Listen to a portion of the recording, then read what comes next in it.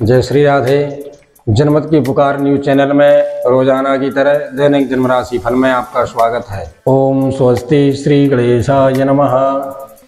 सबसे पहले आज के भाग की सितारे में मेष राशि मेष राशि वाले उन्नति जगत कार्य क्षेत्र से उतार चढ़ाव की स्थिति रह सकती है। अनयस अचानक किसी कार्य में रुकावट हो सकती है तो आपको चाहिए श्री हनुमान जी की आराधना करना, जो कि श्रेष्ठ उत्तम कारक रहेगी। दूसरी राशि वृख वृख राशि वाले व्यक्ति, व्यापार जगत आदि क्षेत्रों से आपको सफलताएँ हाथ लग सकती हैं। तीसरी राशि मिथुन मिथुन राशि वाले व्यक्ति, विद्याध्ययन सरकारी जैसे क्षेत्रों से आपको लाभ प्राप्त होगा। चौथी राशि कर्क कर्क राशि वाले व्यक्ति, स्त्री पक्ष से एवं संतान पक्ष से आपको लाभ प्राप्त होगा। मन मुटाव की स्थिति जो चल रही थी, वह समाप्त हो सकती है।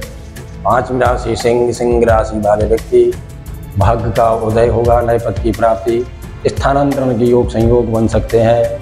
छठवीं राशि है। कन्या कन्या राशि वाले व्यक्ति, मानसिक तनाव, बेचैनी अन्य अचानक किसी बात को लेकर बढ़ सकती है। सातवीं राशि तुला तुला राशि वाले व्यक्ति भूमिगत द्रव्य, लाभ, योग के संकेत बन रहे हैं। सरकारी, कानूनी जैसी चीज़ों में सफलताएँ प्राप्त हो सकती हैं। आठवीं राशि है वृश्चिक वृश्चिक राशि वाले व्यक्ति, भाग्य का उदय नए पद की प्राप्ति एवं ज़मीन इत्यादि जैसी चीज़ों से सफलताएँ हाथ लगेंगी।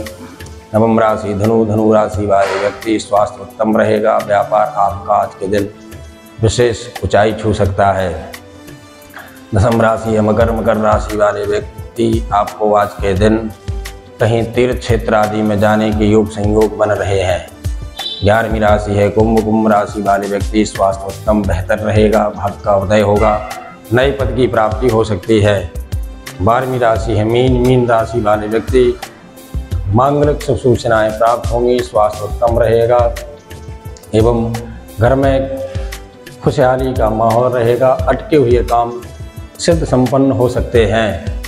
जय श्री कृष्णा, जय श्री राधे। जय माँ अमरा जय माँ अमृतवासिनी अगर आपने हमारा अभी तक चैनल सब्सक्राइब नहीं किया है तो कृपया चैनल सब्सक्राइब कर लें, लाइक करें, शेयर करें, कमेंट करें। तो मिलते हैं फिर किसी और खबरों के साथ।